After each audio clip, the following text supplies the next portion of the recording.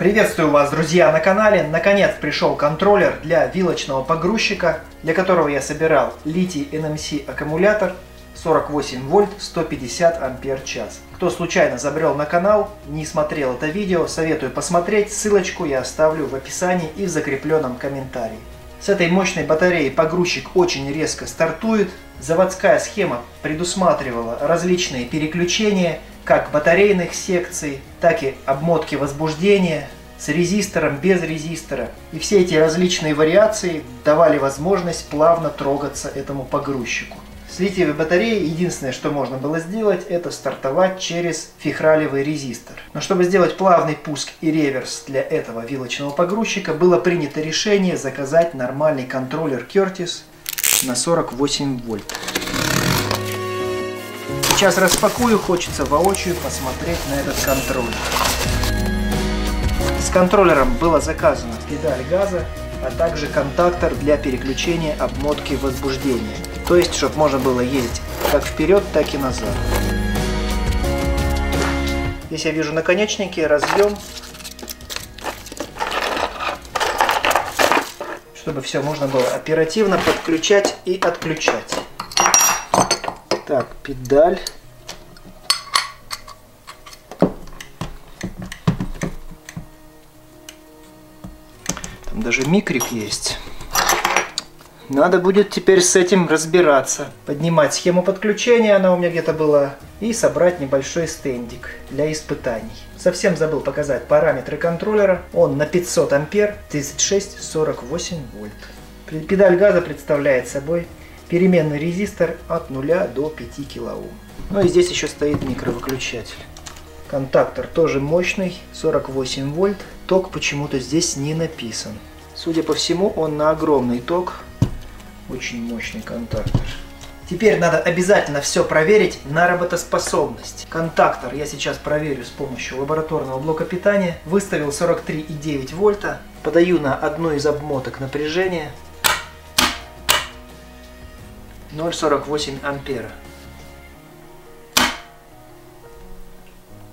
Подаю на вторую обмотку.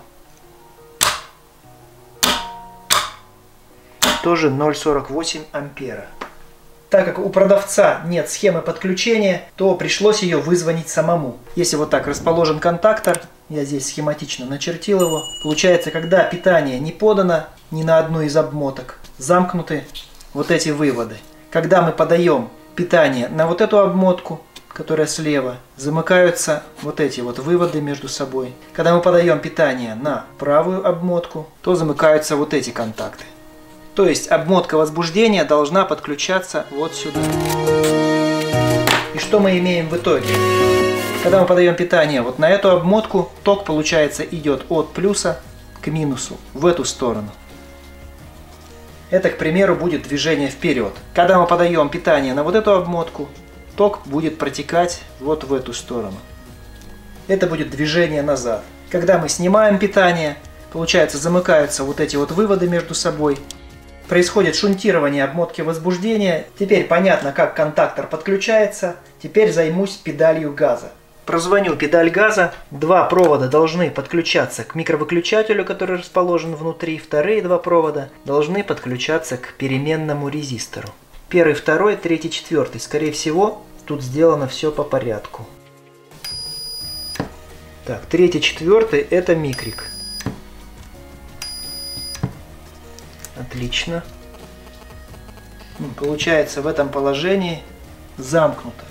Сейчас вот включается микровыключатель и сопротивление растет. 1 килоом, 2 килоома, 3, 4, 5. 5,15 килоома. Отлично, все работает. Контактор для меня не представляет ничего интересного, поэтому разбирать я его не буду. Работает и отлично. Контроллер скорее всего, не получится нормально загерметизировать, поэтому лишний раз лучше его не разбирать. Просто проверим его чуть позже. А вот педаль газа интересно разобрать и посмотреть, что у нее внутри. Чисто из любопытства. С виду, конечно, корпус сделан очень добротно, а вот как сделано внутри, Внутри сделано все довольно просто.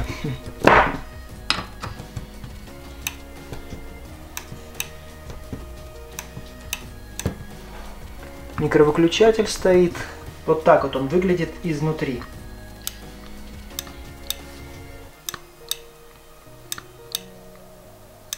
Чтобы проверить контроллер и всю систему в целом, нужен двигатель.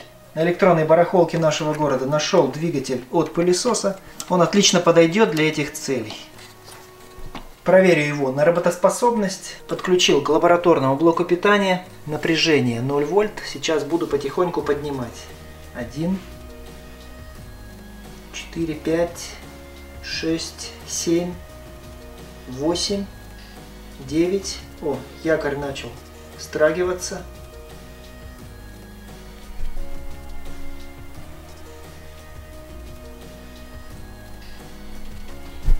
Добавляю дальше. 10.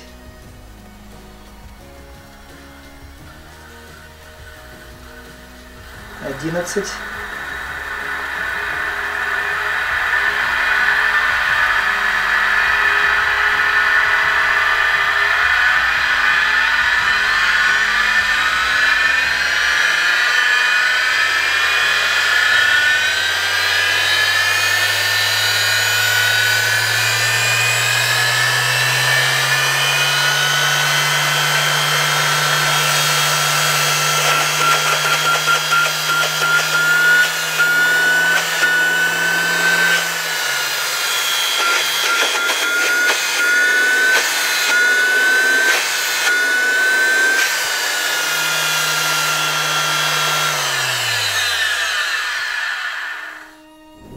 Двигатель отлично работает, можно собирать тестовый стенд.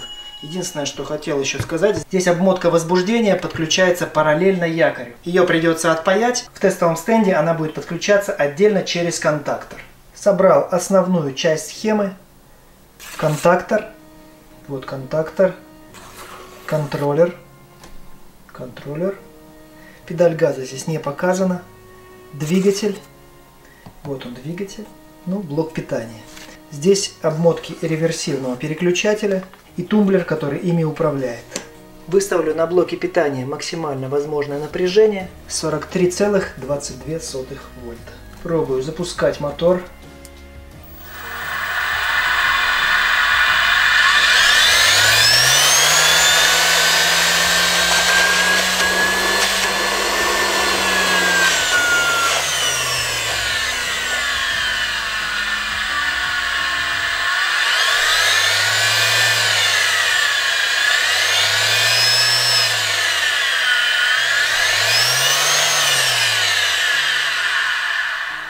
Переключаю направление вращения.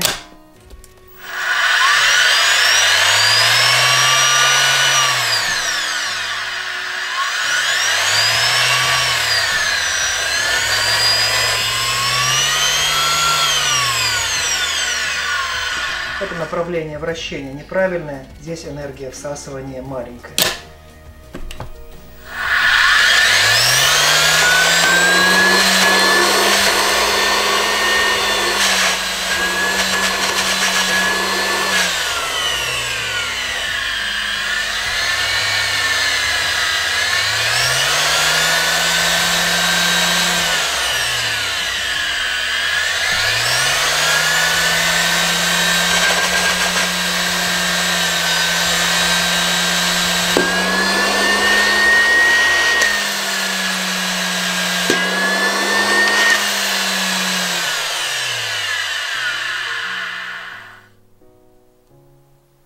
Схема отлично работает, теперь ее можно монтировать на вилочный погрузчик. На этом у меня все. Если вам понравилось это видео, обязательно поставьте лайк. Если не понравилось, поставьте дизлайк. Поделитесь этим видео в соцсетях. Напишите в комментариях, нужно ли снимать еще одну часть, как вся эта система будет устанавливаться на сам погрузчик. Если эта тема вам интересна, я обязательно сниму. Отдельное спасибо, что досмотрели ролик до конца. До новых встреч на канале, друзья!